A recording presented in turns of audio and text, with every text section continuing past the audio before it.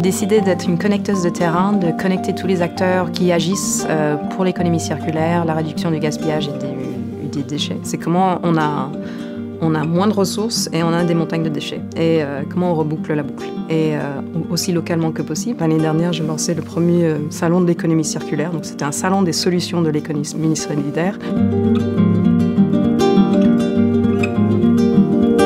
C'était voilà, un jour, euh, des conférences, des exemples euh, et 75 structures en train de montrer euh, voilà ce qu'elles proposent déjà sur le territoire. On l'a appelé Solucir et ça réunit 75 initiatives du territoire, donc aussi bien, surtout des entreprises, mais il y avait aussi des institutions et des associations, et puis des acteurs de l'ESS, bien sûr. Et là, l'idée, c'était en un même endroit, vous rentriez par une porte, donc, de tous les, donc vous faisiez la boucle de l'économie circulaire. Donc vous commencez par tous les acteurs de, de l'éco-conception, de l'approvisionnement durable, qui proposent des choses au territoire qui sont moins impactantes mieux réfléchi, et en passant par tous les acteurs du réemploi, recyclage, comme la Forge des Halles où on est aujourd'hui, qui proposent des solutions qui sont réemployées, des objets réemployés ou des refabriqués. Et puis derrière, le, la dernière boucle avec euh, tous les acteurs du recyclage qui sont souvent plus connus, mais en fait qui étaient moins nombreux. On pensait qu'ils allaient être les plus nombreux dans le salon, et en fait c'était les moins nombreux. En fait, on avait énormément d'acteurs, et l'idée c'était que tous les visiteurs, que ce soit des élus, des citoyens ou des entreprises, en faisant le parcours du salon, qu'ils allaient réaliser que concrètement, l'économie circulaire, c'est cette boucle-là, et on l'a aussi déjà sur notre territoire. Donc c'était vraiment ça l'idée, c'était rendre visible pour que l'économie circulaire soit pas juste un mot de plus. C'est aussi un concept qui est très difficile à comprendre pour euh, notamment des élus, des entreprises. Qu'est-ce que c'est Le rendre tangible?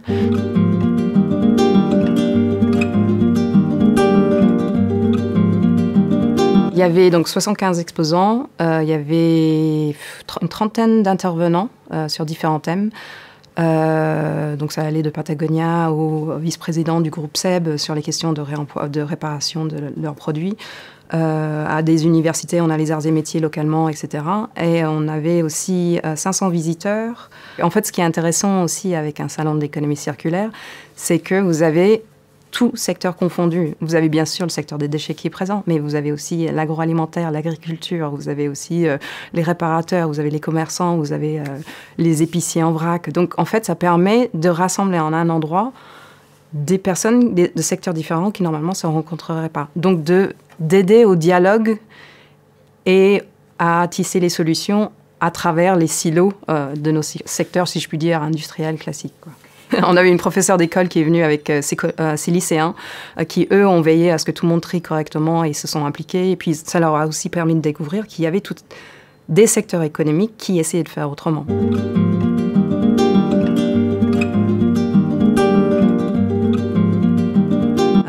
Tout bête pendant le salon, j'ai fait en sorte de placer certaines entreprises ou associations les unes à côté des autres parce que je savais qu'elles n'avaient pas le temps, parce que tout le monde, tous nos, nos, porteurs de projets sur le territoire sont la tête dans le guido, donc de pousser et provoquer les synergies en étant euh, bah, l'une à côté d'elle euh, et puis euh, ces différentes entreprises en fait se sont rencontrées et puis derrière des projets se sont faits. Par exemple, j'avais placé euh, la structure Marila qui propose en fait de, la vaisselle compostable à côté de, la structure de compostage euh, qui s'appelle Compost Action sur Chambéry.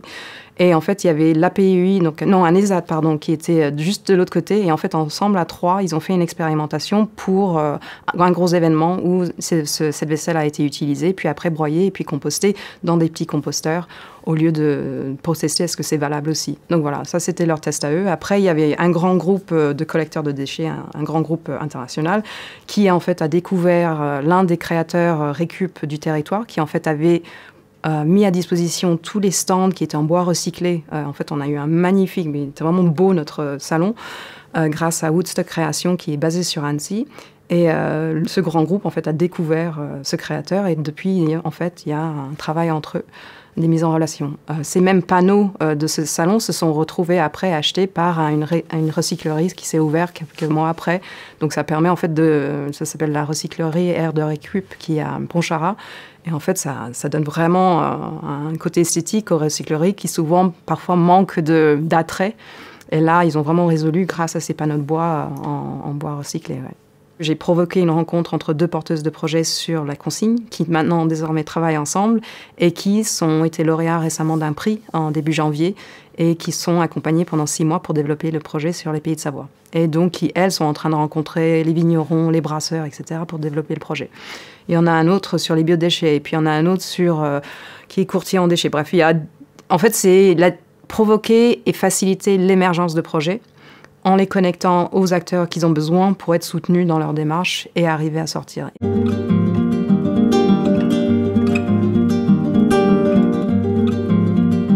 Je faisais de la mise en connexion sur Paris avant, euh, un peu partout. Euh, je trouve que c'est pour moi beaucoup plus satisfaisant d'être dédié à un territoire. En tout cas, je trouve ça. Moi, j'ai l'impression d'avoir un pouvoir d'agir plus direct, moins dans les sphères comme ça peut être à Paris où c'est beaucoup on rencontre des gens avec des idées, mais on voit pas toujours la pratique. Euh, là, c'est quelqu'un a une idée, deux mois plus tard, euh, voilà, euh, les acteurs de la consigne par exemple, ils ont rencontré les vignerons, les brasseurs, etc. C'est ça va très vite, ouais.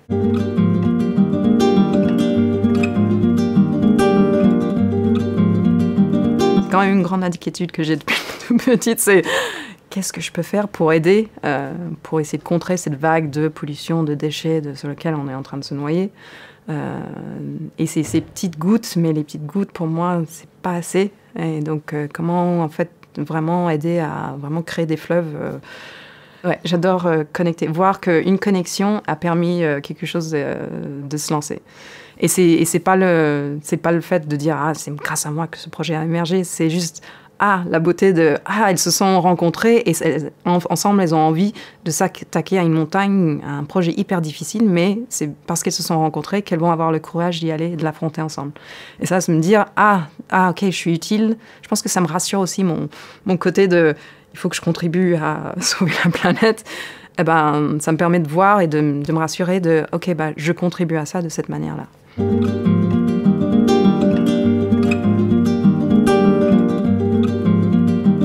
Fait, j'avais les acteurs du territoire qui disaient on a besoin de, montrer ce qu'on fait. Euh, on, on, est là, mais on, voilà, j'organisais des réunions et ils disaient mais c'est pas assez, on a besoin de se montrer à l'extérieur. En fait, on a une richesse sur ce territoire, c'est qu'on a une grande diversité d'acteurs.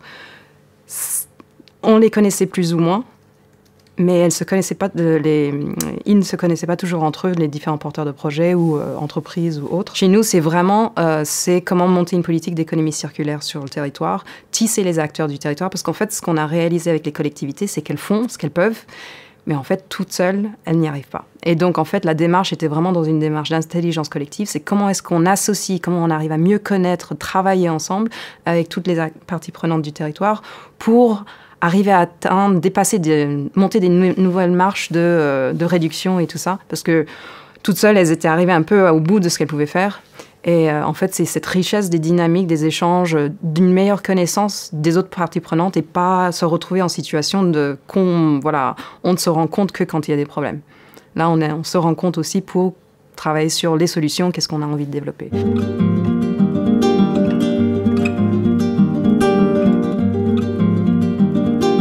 que j'ai encore, c'est que l'économie circulaire est perçue comme de la décroissance. Donc, euh, certaines personnes sur le territoire, en fait, ont fermé euh, leur regard sur le projet, pensant que c'est de la décroissance. Or, on a plus de 150 entreprises qui sont engagées dans la démarche. Il y a le groupe SEB qui est engagé dans la marche. On a des, voilà, on a, on a toutes les tailles, on a tous les arguments, sauf que l'intérêt du sujet n'est pas encore perçu par certains décideurs clés. Un discours qui est nouveau, qui fait peur parce que oui, c'est un autre système, c'est un autre modèle économique, c'est un, une autre forme de richesse à imaginer, qu'on a besoin d'imaginer ensemble. C'est terrifiant pour le monde classique. Euh, et on le voit tous les jours dans plein de mondes. Euh, voilà, bref.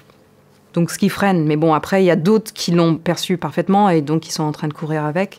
Mais voilà, c'est avec tous les efforts, je dirais, euh, pour montrer le tangible, la richesse, l'intérêt local de création, de, économique, etc de moins de déchets, de voilà, que encore là, euh, il y, a, bah, y a encore du travail à faire, mais bon.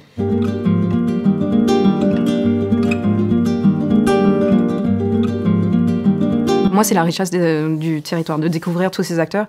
Et en plus, ils sont tous, euh, c'est tous des personnes que j'apprécie énormément. À chaque fois que j'ai pu rencontrer quelqu'un qui, qui, voit, qui pense à ça, qui se pose des questions sur comment il peut agir ou qui a développé un projet, c'est toujours une personne intéressante. Donc en fait, j'ai la chance de bosser dans un secteur ou sur des sujets qui me permettent de rencontrer que des... Voilà, c'est que des belles rencontres. Et euh, j'ai plaisir à les aider, à les, les aider à rencontrer d'autres personnes. Et vraiment, ce, voilà, ce tissage, euh, bah, je, en fait, j'étais pas du territoire et je remercie mon mari sans cesse. Bah, merci de m'avoir amené ici parce que, euh, en fait, j'arrive à allier vraiment mes deux compétences facilitation, intelligence collective et passion pour la question de la réduction des gaspillages sur ce territoire et j'ai redécouvert mes super pouvoirs de connecteuse assez rapidement grâce à ce projet. Donc, euh, alors que je suis arrivée sur le territoire, je connaissais personne, je me suis dit, bon, ah, mon talent, je l'ai perdu. Et en fait, euh, bah non, il s'est redéployé encore de manière beaucoup plus importante et avec, je dirais, beaucoup plus d'impact que ce que j'avais sur Paris. Parce qu'on est beaucoup plus proche du territoire.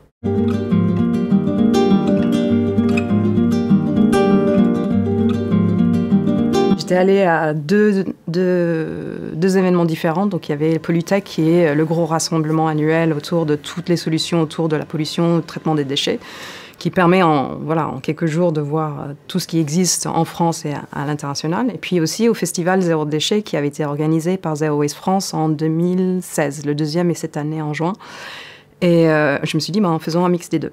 Euh, bien sûr plus petit que euh, Polytech et que Zero Waste, mais l'idée c'était vraiment le festival Zéro Déchet aussi Zero Waste à Paris, c'était montrant que ça existe et que voilà il y a un potentiel et aussi permettons aux acteurs de se rencontrer de et puis après voilà laissons les synergies se faire et c'est comme ça qu'on va renforcer les dynamiques.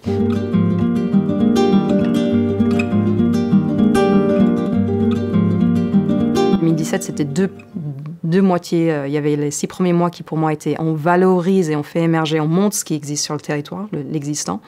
Notamment avec le salon, on a sorti aussi un diagnostic économie circulaire du territoire et un livret euh, de 150 acteurs euh, qui agissent sur tout le territoire, aussi bien sur l'éco-conception que sur différents aspects de, de l'économie circulaire.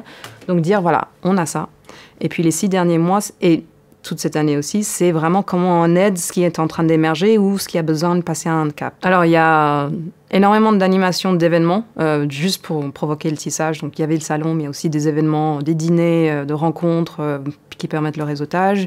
Il y a aussi des groupes de travail thématiques. Donc, on va travailler sur une question spécifique avec les acteurs concernés, que ce soit euh, la réparation, que ce soit les déchets euh, végétaux, euh, tout ce qui est... il va y avoir des sessions sur le gaspillage alimentaire, etc., pour déterminer sur quoi est-ce qu'on veut travailler et quel projet aider à développer.